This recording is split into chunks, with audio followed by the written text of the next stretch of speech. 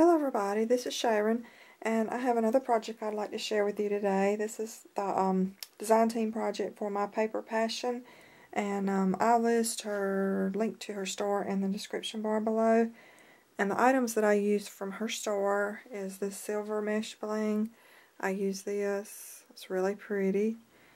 And I used a heart from her store and it comes in gold like this one right here and the one that I use is in silver so it's really pretty. And um, she has some great prices and trim so if you guys haven't been by there you get a chance go by there and check it out. She has some nice things there. And um, so we'll just go ahead and get started here. Let me zoom back out. And um, excuse me. This is just a cross that I purchased at Michael's. It was um, a wooden cross that that they carry there.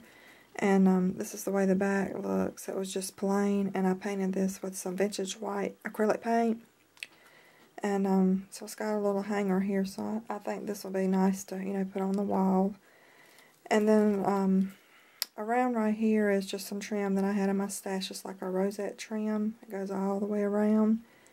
And then um, I used her bling, the silver mesh bling, um, I just bordered, you know, the whole cross all the way around, and um, it gives it a really pretty, um, sparkly, um, you know, sparkle to that.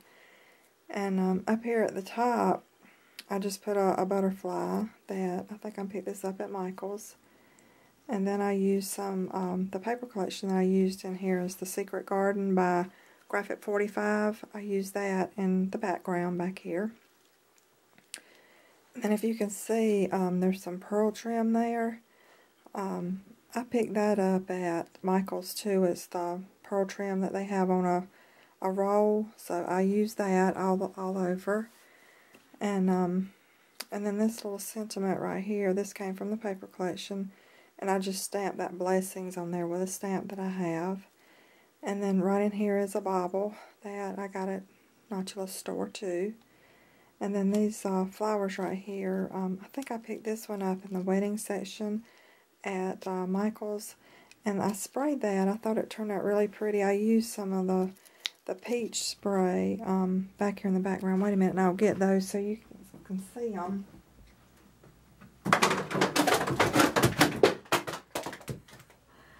Sorry about that. I knocked something off of my table over there. But um, this is the one that I use. It's the saltwater taffy. And then I used um, this one right here, Cape Cod Coral. And I used that, um, the Cape Cod Coral I put in the back back here. And then I did the pink saltwater taffy in the middle there. And I love the way that um, kind of turned out. It's like a peach color and then it's got the pink right here. And then I sprayed the whole thing with the scintillating silver and the Lindy's. And then these colors back here on these um, roses, this is in um, the blue color they have. I don't have it out right now. But, um, and then this is in the clamback beige. And if you have a question about that color, just let me know and I can get that for you. Anyway, I tied a pretty pink um, lace bow right here. And then up under there, I have some pink pearl trim that just kind of dangles down. And then I have, um, there's a little bit more right in there. It's right in there. And then I have this raffia. Um, I just tied that into a bow and just pushed it up in here. And that's what this heart and this key is on here. And then from the key, I just dangled a pretty little um, pink charm down there. And I think that's all. This little um, light bulb here, this came from uh, Hobby Lobby. It's one of the, the ones that they carry, the Paper Studio. So I got that there. And um, I think that's all. Um, like I said, I just, you know, painted all over first and then adhere the paper and the embellishments.